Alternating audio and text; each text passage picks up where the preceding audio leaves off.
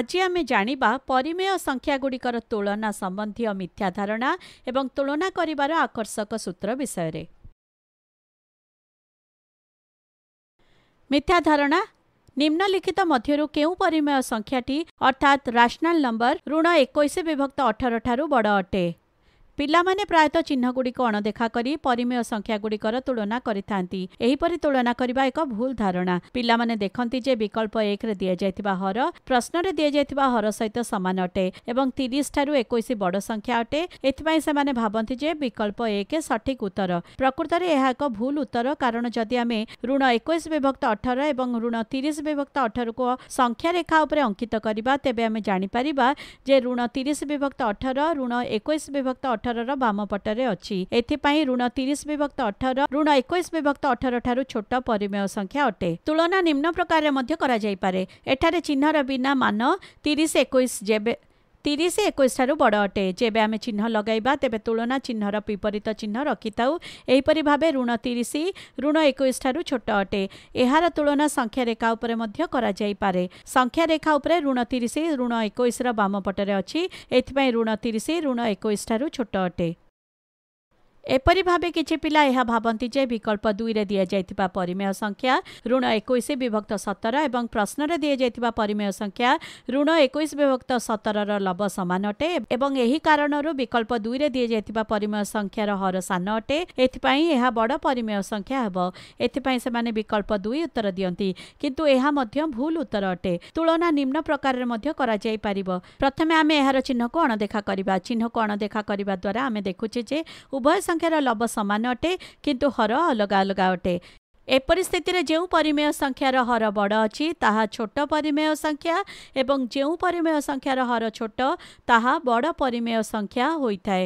ଅର୍ଥାତ୍ ଏଠାରେ ଏକୋଇଶ ବିଭକ୍ତ ସତର ଏକୋଇଶ ବିଭକ୍ତ ଅଠର ଠାରୁ ବଡ଼ ଅଟେ। ବର୍ତ୍ତମାନ ଏଠାରେ ମଧ୍ୟ ଯଦି ଆମେ ଚିହ୍ନ ଦେବା ତେବେ ତୁଳନାର ଚିହ୍ନର ବିପରୀତ ଚିହ୍ନ ଦେବାକୁ ହେବ।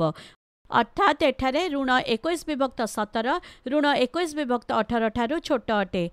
ବିକଳ୍ପ ତିନିରେ ଏକ ପୂର୍ଣ୍ଣ ସଂଖ୍ୟା ଦିଆଯାଇଛି। କିଛି ପିଲା ଏହା ବୁଝିପାରନ୍ତି ନାହିଁ ଯେ ପୂର୍ଣ୍ଣ ସଂଖ୍ୟା ମଧ୍ୟ ପରିମେୟ ସଂଖ୍ୟା ହିଁ ହୋଇଥାଏ। ଏପରି ଭାବେ ଋଣ ଏକକୁ ଦେଖି ପିଲାମାନେ ଏହା ଭାବନ୍ତି ଯେ ଏହା ଏକ ପରିମେୟ ସଂଖ୍ୟା ନୁହେଁ। ଏଥିପାଇଁ ଏହା ଦିଆଯାଇଥିବା ପ୍ରଶ୍ନର ଉତ୍ତର ହୋଇପାରିବ ନାହିଁ। କିନ୍ତୁ ଦିଆଯାଇଥିବା ପ୍ରଶ୍ନର ସଠିକ ଉତ୍ତର ହେଲା ବିକଳ୍ପ ତିନି କାରଣ ପ୍ରତ୍ୟେକ ପୂର୍ଣ୍ଣ ସଂଖ୍ୟା ଏକ ପରିମେୟ ସଂଖ୍ୟା ମଧ୍ୟ ହୋଇଥାଏ। କାରଣ ପୂର୍ଣ୍ଣ ସଂଖ୍ୟାର ହର ଏକ ଲେଖି ଏଗୁଡ଼ିକୁ ପି ବିଭକ୍ତ କ୍ୟୁ ରୂପେ ବ୍ୟକ୍ତ କରାଯାଇପାରିବ। ଯେଉଁଠି ପି ଏବଂ କ୍ୟୁ ଉଭୟ ପୂର୍ଣ୍ଣ ସଂଖ୍ୟା ଅଟେ ଏବଂ କ୍ୟୁ ଶୂନ ସହିତ ସମାନ ନୁହେଁ। ଆଶା ପରିମେୟ ସଂଖ୍ୟା ଋଣ ଏକୋଇଶ ବିଭକ୍ତ ଅଠର ଆଉ ଋଣ ଏକ ବା ଋଣ ଏକ ବିଭକ୍ତ ଏକର ତୁଳନା କରିବା। ଯଦି ଆମେ ଏଠି ଋଣ ଏକ ବିଭକ୍ତ ଏକର ଲବ ଏବଂ ହର ଉଭୟକୁ ଅଠର ଦ୍ୱାରା ଗୁଣନ କରିବା ତେବେ ଆମକୁ ଋଣ ଏକ ବିଭକ୍ତ ଏକର ସମତୁଲ୍ୟ ପରିମେୟ ସଂଖ୍ୟା ଋଣ ଅଠର ବିଭକ୍ତ ଅଠର ପ୍ରାପ୍ତ ହେବ। କାରଣ ହର ସମାନ ଅଟେ ସେଥିପାଇଁ ଆମେ ଲବ ଗୁଡ଼ିକ ତୁଳନା କରିବା। ଋଣ ଏକୋଇଶ ଋଣ ଅଠର ଠାରୁ ଛୋଟ ଅଟେ ସେଥିପାଇଁ ଋଣ ଏକୋଇଶ ବିଭକ୍ତ ଅଠର ଋଣ ଅଠର ବିଭକ୍ତ ଅଠର ଠାରୁ ଛୋଟ ଅଟେ। ଅର୍ଥାତ୍ ଋଣ ଏକୋଇଶ ବିଭକ୍ତ ଅଠର ଋଣ ଏକ ଠାରୁ ଛୋଟ ଅଟେ ଯଦି ଆମେ ଋଣ ଏକୋଇଶ ବିଭକ୍ତ ଅଠରକୁ ସଂଖ୍ୟା ରେଖାରେ ଦର୍ଶାଇବା ତେବେ ଏଠାରେ ଦେଖିପାରିବା ଯେ ଋଣ ଏକୋଇଶ ବିଭକ୍ତ ଅଠରର ସ୍ଥାନ ଋଣ ଏକର ବାମ ପଟେ ଅଛି। ଏହିପରି ଭାବେ ମଧ୍ୟ ଆମେ କହିପାରିବା ଯେ ଋଣ ଏକୋଇଶ ବିଭକ୍ତ ଅଠର ଋଣ ଏକ ଠାରୁ ଛୋଟ ଅଟେ। ଏଥିପାଇଁ ଦିଆଯାଇଥିବା ପ୍ରଶ୍ନର ସଠିକ ଉତ୍ତର ହେଲା ବିକଳ୍ପ ତିନି। ବର୍ତ୍ତମାନ ଆସ ଦେଖିବା ପରିମେୟ ସଂଖ୍ୟା ଗୁଡ଼ିକର ତୁଳନା କରିବାର ଏକ ଆକର୍ଷକ ସୂତ୍ର। ଧରିନିଅ ଆମକୁ ଚାରି ବିଭକ୍ତ ତେର ଏବଂ ତିନି ବିଭକ୍ତ ଏଗାରର ତୁଳନା କରିବାକୁ ହେବ। ତୁଳନା କରିବା ପାଇଁ ଆମେ ପ୍ରଥମ ପରିମେୟ ସଂଖ୍ୟାର ଲବ ଚାରିର ଦ୍ୱିତୀୟ ପରିମେୟ ସଂଖ୍ୟାର ହର ଏଗାର ଦ୍ୱାରା ଗୁଣନ କରିବା ଯାହାଦ୍ୱାରା ଆମକୁ ଫଳାଫଳ ପ୍ରାପ୍ତ ହେବ ଚଉରାଳିଶ। ଏହିପରି ଭାବେ ଆମେ ଦ୍ୱିତୀୟ ପରିମେୟ ସଂଖ୍ୟାର ଲବ ତିନି ସହିତ ପ୍ରଥମ ପରିମେୟ ସଂଖ୍ୟାର ହର ତେର ଦ୍ୱାରା ଗୁଣନ କରିବା ଯାହାଦ୍ୱାରା ଆମକୁ ଫଳାଫଳ ପ୍ରାପ୍ତ ହେବ ଅଣଚାଳିଶ। ଏଠାରେ ଆମେ ଦେଖୁଛେ ଯେ ଚଉରାଳିଶ ଅଣଚାଳିଶ ଠାରୁ ବଡ଼ ସଂଖ୍ୟା ଅଟେ। ଏଥିପାଇଁ ଆମେ କହିପାରିବା ଯେ ଚାରି ବିଭକ୍ତ ତେର ତିନି ବିଭକ୍ତ ଏଗାର ଠାରୁ ବଡ଼ ଅଟେ। ଏପରି ଭାବେ ଆସ ଋଣ ବାର ବିଭକ୍ତ ପାଞ୍ଚ ଏବଂ ଋଣ ତେର ବିଭକ୍ତ ଛଅର ତୁଳନା କରିବା। ବର୍ତ୍ତମାନ ଏଠାରେ ପ୍ରଥମ ସଂଖ୍ୟାର ଲବ ଋଣ ବାର ସହିତ ଦ୍ୱିତୀୟ ସଂଖ୍ୟାର ହର ଛଅ ଦ୍ୱାରା ଗୁଣନ କରିବା ଦ୍ୱାରା ଋଣ ବାସ୍ତରୀ ଏହି ଫଳାଫଳ ପ୍ରାପ୍ତ ହୋଇଥାଏ। ଏବଂ ଦ୍ୱିତୀୟ ସଂଖ୍ୟାର ଲବ ଋଣ ତେର ପ୍ରଥମ ସଂଖ୍ୟାର ହର ପାଞ୍ଚ ଦ୍ୱାରା ଗୁଣନ କରିବା ଦ୍ୱାରା ଋଣ ପଞ୍ଚଷଠି ଏହି ଫଳାଫଳ ପ୍ରାପ୍ତ ହୋଇଥାଏ।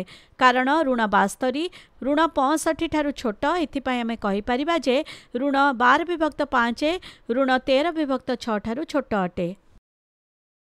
ଏହିପରି ଭାବେ ଯଦି ଆମେ ନଅ ବିଭକ୍ତ ବାର ଏବଂ ତିନି ବିଭକ୍ତ ଚାରିର ତୁଳନା କରିବା ତେବେ ଏଠାରେ ପ୍ରଥମ ସଂଖ୍ୟାର ଲବ ନଅ ସହିତ ଦ୍ୱିତୀୟ ସଂଖ୍ୟାର ହର ଚାରି ଦ୍ୱାରା ଗୁଣନ କରିବା ଦ୍ୱାରା ଛତିଶ ଏହି ଫଳାଫଳ ପ୍ରାପ୍ତ ହୋଇଥାଏ ଏବଂ ଦ୍ୱିତୀୟ ସଂଖ୍ୟାର ଲବ ତିନି ସହିତ ପ୍ରଥମ ସଂଖ୍ୟାର ହର ବାର ସହିତ ଗୁଣନ କରିବା ଦ୍ୱାରା ମଧ୍ୟ ଛତିଶ ଏହି ଫଳାଫଳ ପ୍ରାପ୍ତ ହୋଇଥାଏ।